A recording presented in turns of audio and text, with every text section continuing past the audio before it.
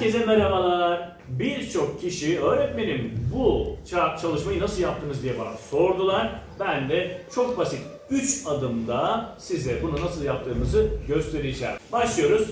Birinci adımımız şu. Birinci adım. Evet, aynen birinci adım bu. Şimdi birinci adımı bir kere daha yavaşça yapıyorum. 1, 2, 1, 2, 3, Yavaşça bir kere daha gösteriyorum. Bu birinci adımımız. Şimdi önce burayı bir çalıştıracağım öğrencilerime. Önce buranın pratiğini yapacağız. Birinci adım. Birinci adım pekiştikten sonra ikinci adım yapıyoruz. O da şu.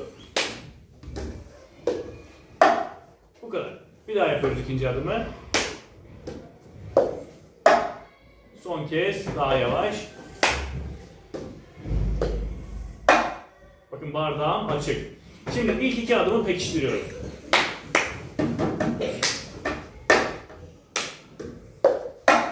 Evet. Şimdi üçüncü adıma geliyor. Bakın bardağım açık üçüncüde.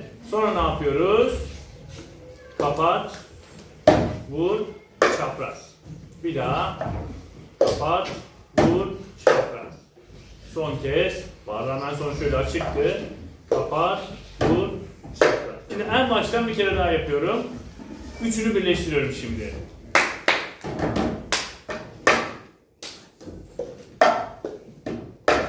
Şimdi son kez hızlı bir şekilde. Şimdi müzikle birlikte hazır.